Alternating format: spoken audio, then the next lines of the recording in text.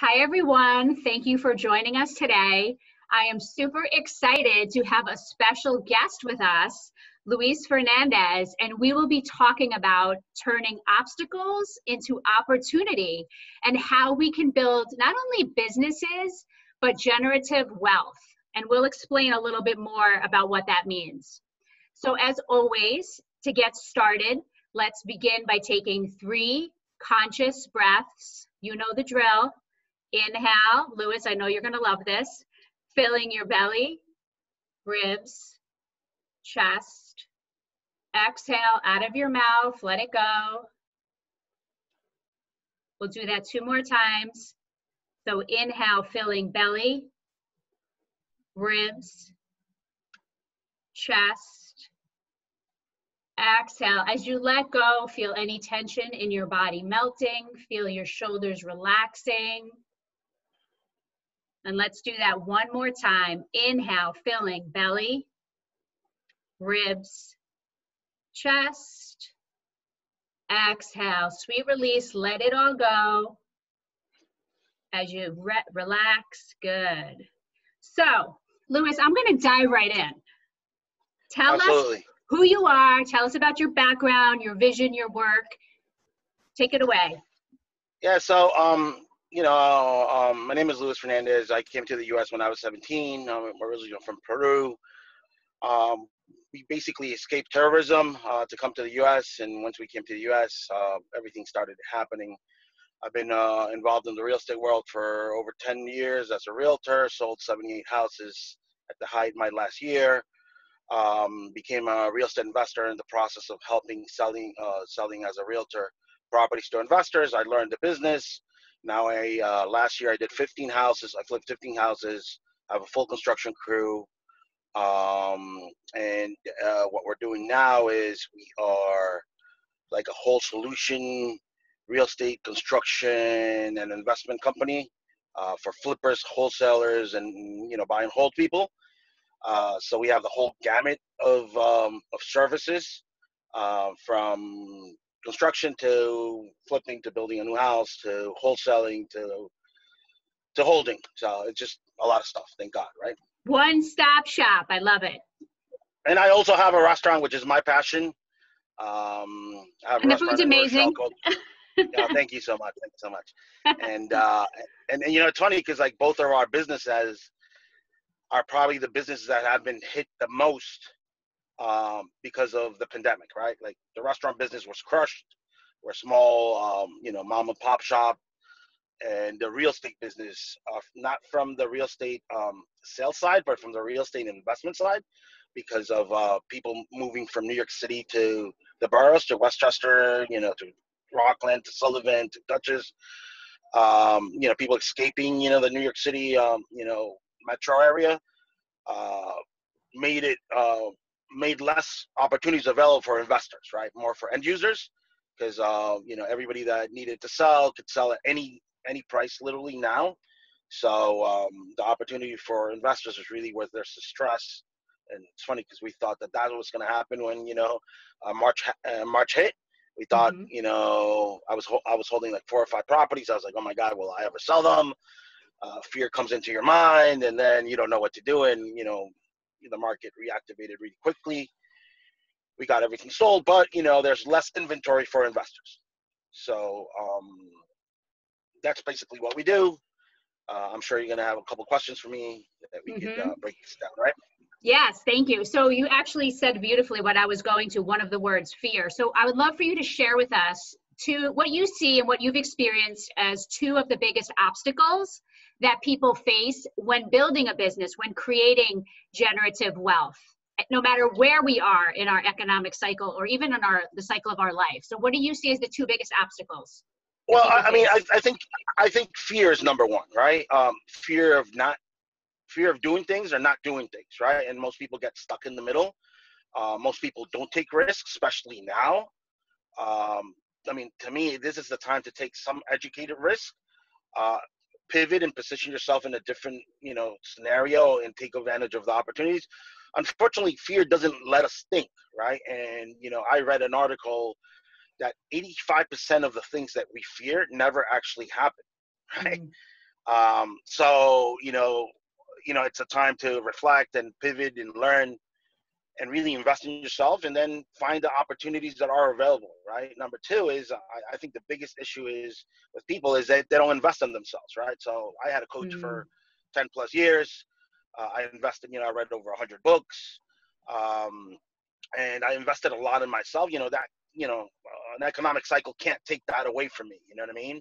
Mm-hmm. it can only position me in a, in a better place uh, with a better structure and better opportunity, right? Like you start envisioning things that other people don't, and it's like you know, like most people are like a deer in a headlight, right? Like you just get stuck, and they just yes. don't move, and they get hit, right? Like at yes. least you know when you're pivoting, you pivot to the left or the right, and you, at least maybe maybe maybe you get hit a little bit, but you just don't take the whole hit, right? And um, mm-hmm. I think that's what business is all about, right? And um, fear and emotions, right? A lot of times emotions uh, you know, cloud people and make them do things that they shouldn't be doing. Or a lot of us like are followers and we follow what everybody says. We follow what the media says. We follow whatever. And when you become a follower, then you can't become a leader, and nobody's going to follow you if you're not the leader, right? So. Mm-hmm. Excellent. I so I heard you say yes, and I heard you say a couple things. So fear, and I always say that fear either you know it's the fight flight or freeze. And yes, it absolutely affects our ability to have clarity. Hence why I always meditate because I feel like it gets the mind clear and calms the emotions.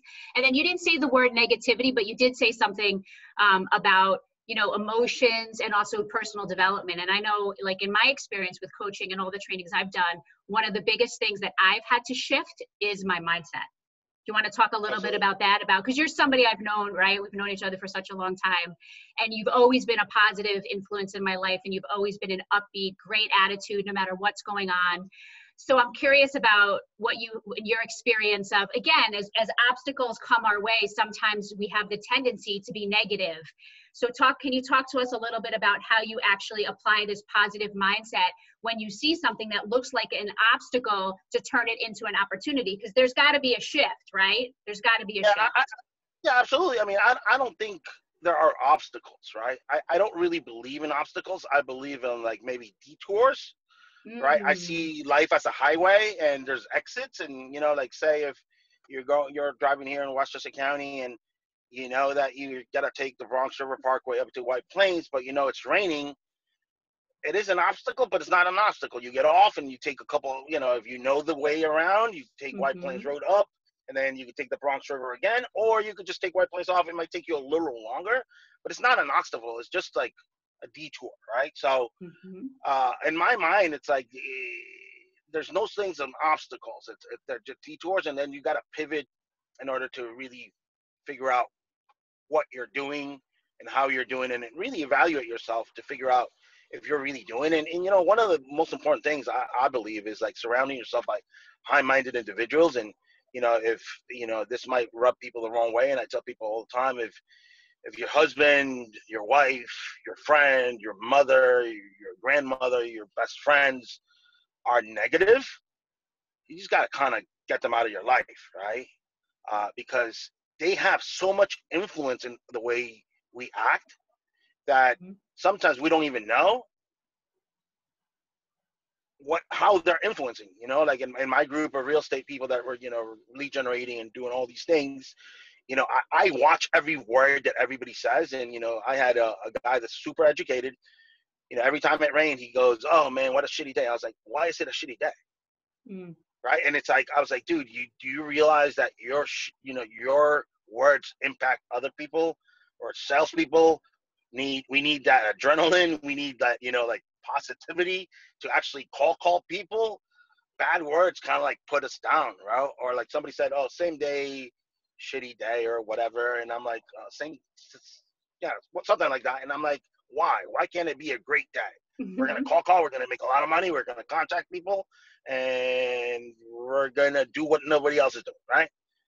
So it's just the mindset of, of being positive and knowing that things will will prevail at the end of the day if you continue doing what you have to do. It it might take you a little longer, right? It's like the, the analogy of the highway, right? Like it might take you a little longer to get White Plains, right? Well, you get mm-hmm. there, right? But if you say, "Oh, the the highway's closed," then you just go back home, right? Right. so have you always kind of had that? I love that you say you don't see them as obstacles because that's my word, not yours. Um, you see it as detours. Has that always been your experience, or have you developed that kind of framework and paradigm with all of your training and all your life experience? Well, you know, I, I, I think I think you know one of the things of, of being an immigrant is is that you know like you're already anytime you're an immigrant comes to, to the U.S., you're already in a different territory, and a lot of things arise that you culturally you don't even expect, and you start getting used to it. And you know, but you know, I surrounded myself by a lot of intelligent people. I read a lot of books, and I realized that by reading, um, and and this is what I do with my trainings and my people. I tell them what they, you know, we analyze books and we read them together and uh, we learn. But the most important thing is that, you know, when you read a book, um, it's not like somebody's telling you, oh, you know, Stephanie, you're doing this wrong. Like it's kind of self-aware. You're like, oh my God, I might be doing this wrong, right? And we have like this wall when, you know, somebody's coaching us, mentoring us, or, or telling us what we should be doing. That we are like, no, no, automatically we're doing things right, right? And we're like, no, I, I know it all. You don't have to tell me. That's why I started reading books because that's just more effective because you're just listening, reading yourself, and you're like, is that me? right? Isn't that crazy? Yeah, you can take the information and there's less resistance and an opportunity to be defensive when you're right. when you're when you're with yourself. So I love that. Absolutely. So I love I so well said. So I'd love for you to share maybe one or two personal examples of how you've been able to kind of take some of these I'm going to use your words detours and turn them into opportunity. Maybe something about what's going on right now in you know in the economy in your business, but something that people can that are listening yeah. can really like learn from um, that's tangible that they can apply to their life. So, so you know, it's funny that you know it takes ten years to build a great business, right? It takes a pandemic to ruin it, right? Um, and you know, we're investors on the most side, uh, on, on the real estate side. We buy and flip and hold properties, and we were usually going to the sources where most people go, right? The auctions. We go to the auction every day. We go through agents the market wasn't as uh, strong and there was not that much competition so you could actually scoop up properties at a, at a discount. It didn't really take that you know i did like 15 deals last year and because of my level of knowledge and knowing of uh, valuation and, and repairs wasn't you know it didn't consume a lot of my time to be honest with you right? Maybe two three hours a day making great money right? And then the market collapses, you know, the, the, the, economy goes south and we think that there's going to be more opportunities, we gear up from our opportunities and the opposite happens, right? Like anybody could sell their property $50,000 over market value. Why would they say to, an, why, why would they sell to an investor? So what we started doing is, you know, like four or five months ago, we started, we got together, a group of us, um, and we said we have to, we have to fish, right? We have to start fishing again. So, you know, when I was doing real estate, I, you know, my last year in real estate, I did 78 transactions all over the phone, right? Call calling for hours and hours. And I was like, listen, you know, we got to bring that back. We can't be, you know, the auctions are closed. Uh, you know, we're not going to get, you know, properties on the market at a discount. So we got to look for distressed people and we got to seek whoever is not, and nobody's talking to. So uh, as a matter, uh, you know, a fact, like now we're we're dialing about five thousand people a day. Wow. And we're yeah, um, and we're um, it, it's taking us four months just to get our scripts and you know the team mm-hmm. going together and you know learn because everybody's defensive and everybody knows how to call when people don't know how to speak. You know, it's the truth though. People don't know how to speak, right? Or or don't know what they they're saying or not saying, and most importantly, in in, in our world, you got to be 100% you got to know 100% of what you're saying, right? And mm-hmm. why you're saying it. Um, so now we're looking at between uh, 10 and 15 deals a week. Uh, and because we're doing that,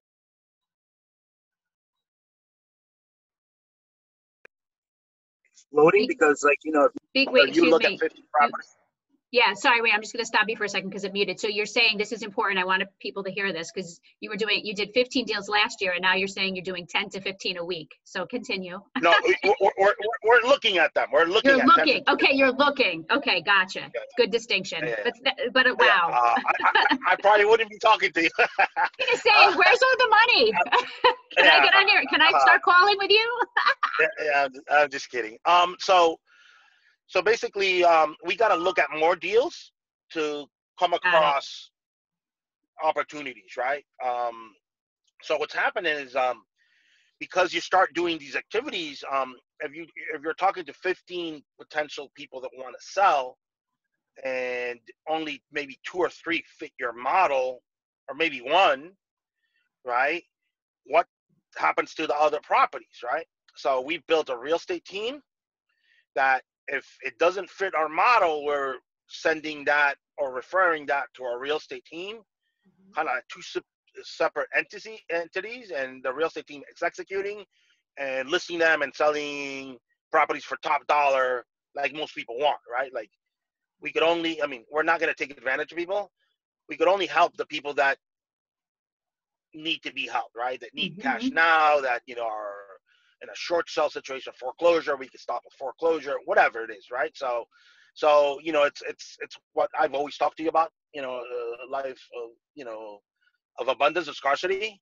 So we're just living abundance, right? Mm-hmm. And because of that, we're building a second business.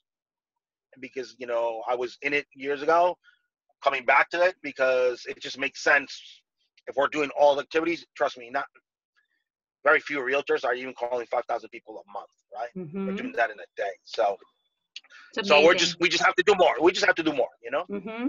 So, can you speak a little bit to? I, I, introduced this at the beginning of the conversation. I want to kind of circle back to it now. Um, is that this concept of generative wealth or generational wealth or creating wealth. When i say that what comes up for you in terms of you know because you and i have had conversations over the years about how real estate is such a great investment. Um, so can you talk a little bit about that and how it connects to like why you get excited? Because i can feel your energy and your excitement when you oh, talk and it gets it gets me excited. I think you're going to have a lot of people that are like oh my god i want to call him and i want to like start doing this. So, um, and you know, I still have that feeling too. So tell, tell me a little bit about that because you're very smart when it comes yeah, to money. So, so so I'll tell you, you know, like I, am in the point of my life where, you know, again, I'm an immigrant that came to the U.S. at 17, and I've achieved what I never thought I would achieve. Um, you know, I retired when I was 42 years old, um, and I just want to create a path for people uh, that wasn't created for me, right? And whether it's real estate, whether it's sales, whether it's whatever it is, right? Like I tell people, they people come work with me, or we mentor a lot of people, and you know the skills that they're going to learn with us are going to be applicable to everything. Now, obviously, I know I know real estate better than than almost anything, and I understand residual income just like you do. And I have, I, you know, I've built a portfolio of properties that you know allow me to actually not have to work and give me residual income. But I think that you know most people are going to Wall Street and they they'll never see that, right? They'll never understand what true residual income is, um, because property value will only go up in value, right? Like they're not making any more land. You know, you know, we are in a metro area where, you know, property will appreciate no matter what, right? I mean, you know, we're actually thinking about going into New York City and buying property because property mm. value is going down and there's an opportunity, right? Um, but that's for a later date. We're like focusing on our immediate area. Um, and, uh, you know, what we're, what we want to show everybody is how to make money, right? Whether you work with me or not work with me, or you just see us in a podcast or whatever, you get motivated to do something that you have no ceiling, right? You have uh, you have no paycheck, right? Like you're on your own and you're kind of like you know like you know it's crazy. Like you know one of my one of the kids that I just you know that's working with me and I'm very proud of him. He's 19 years old. I just met him four three four months ago. He's on a sixth deal.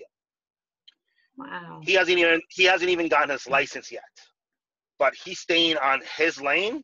He's doing what he's told, and by the time of the by the time he's 25, he'll probably have more money than me. Wow. And, and, and, maybe I'll even go work for him, and I'll be cool because I'll be on my going down stage, right? Like I won't. Listen up, parents. Listen up, parents. Right? Generational, right? yeah. And, and I told them, you know, I, I and I told them like I tell a lot of people, you know, I went to college. I went to Manhattanville, great school. Didn't really do anything for me, to be honest with you. You know why? It prepared me to be an employee. I figured out after being 10 years employed that my increases were 3% a year. I was rocking in sales, and the company was making tons of money. And then I stumbled into real estate, and I tried it, and it changed my life. Right, so.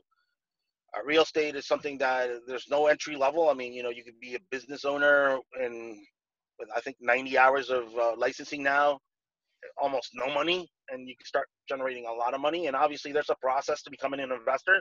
You have to understand valuation, and you know, you got to become a realtor or work with somebody, an investor that understands, you know, um, uh, the process, real estate valuations, uh, repair values and neighborhoods. And then listen, if I could do it, certainly anybody can. I tell people, I, I tell people all the time, listen, English is my second language. Spanish is obviously my first.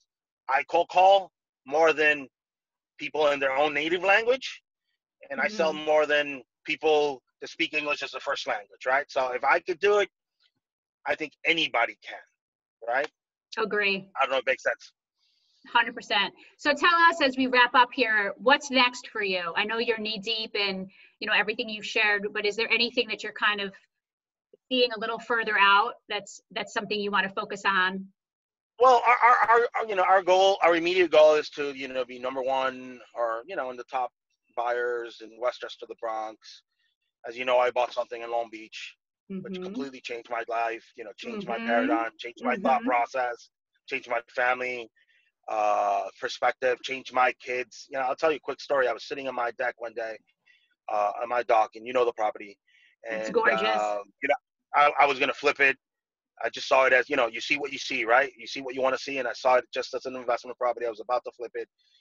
COVID happened. My kid uh, saw the house. He's like, "Daddy, I love this house. Don't sell it. It's mine. It's mine. It's mine." And then you know, my thought process changed. I sat. I had a beer. I only drink a couple beers at a time. You know, just to reflect, meditate, and breathe. And it's funny because um, that day changed my life. And then it was in, I think it was March 19th or 20th, and um, I couldn't believe that I had bought a house cash in Long Beach and was actually going to be my house. Mm. Talk about limiting beliefs, right? Like we all, mm. even no, no, matter what, we all have limiting beliefs. And I was like, when my um, when my kid said, "Daddy, can I keep it?" and I was like, "Absolutely." I was like, even uh, even as far as I've I've gone, I'm not gonna I'm not gonna install like limiting beliefs in my kid, especially being it of Latino origin and in a neighborhood where we're not the majority, right? Mm-hmm. Um, so so to me, it's it's not really necessarily about um, about money. It's about what you could do to others and help them change their thought process. I'll tell you one more thing: that this 19 year old kid that's going to become a superstar and people are going to know who he is like within the next two to three years, especially in our world. I just said, all I want from you is one thing. And he goes, what, Luis? I was like, I just want you to pass my knowledge to my son. Mm. That's all I want. Beautiful. Right? Because I know my my son will never listen to me the way he'll listen to a stranger. Right? The truth. We yeah, listen, we're rebels. Yes, yes. He has a sense of antenna of his father, right? Whatever. Mm-hmm. So I don't know if I deviated from from the questions you asked me. Perfect. It's perfect. I'm happy you shared your personal story because that's what people need to hear is that you know so honestly how much success you've already achieved and that you're literally sitting there with your son in this house that you saw probably monetarily right yes but then your absolutely. son brings in this dad and all of a sudden the element of family comes in because i think that people sometimes make the error that it's either or and right. they're closed and they're not open so and and as you know to be successful in life you have to be agile you have to be open you have to be willing to wake up and say i don't know I don't have all the answers. This is what I do know. So, and it's and it's that humility, and and I love also how you bring into this because this is a very important thing in my life that, you know, helping others and and helping others get to a better place because of maybe what we didn't have, right? Or because of our journey and being able to lend a hand and be in service and say, look, let's do this together especially Absolutely. these days right so so everything you said is amazing and perfect and inspiring and it gets me excited um, and I'm so grateful that you took the time to be on this. And I'd love to just kind of close with two other things is that what gets you really excited today? Like, what's the one thing that you just are like, like gets you up, gets you out of bed, and keeps you going?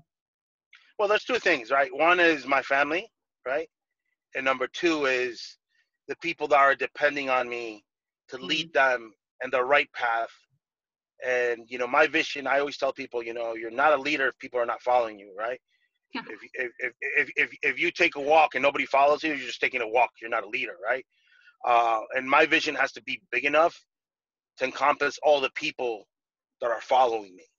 And that keeps me on my toes and keeps me in in a more humble, humble, humble servant leader relationship than just a leader that wants to make money. Because I need to be concerned nowadays. You know, you need to be concerned about COVID. You need to be concerned about the mm-hmm. health, about their relatives, and so so it's a beautiful time to like kind of come together mm-hmm. and, and, and do things you know not only on a business level but all on a personal level that they could encompass both right so like if if you ever see what we do on fridays at eight o'clock like the energy and the synergy is just like it's just unreal right and if that's the juice you know the adrenaline that people need to get them to do 2,000 calls in a day or 1,500 calls in a day and make them make money, because trust me, call calling is really tough, mm-hmm. then I've accomplished what I have to do because day by day we're changing people's lives.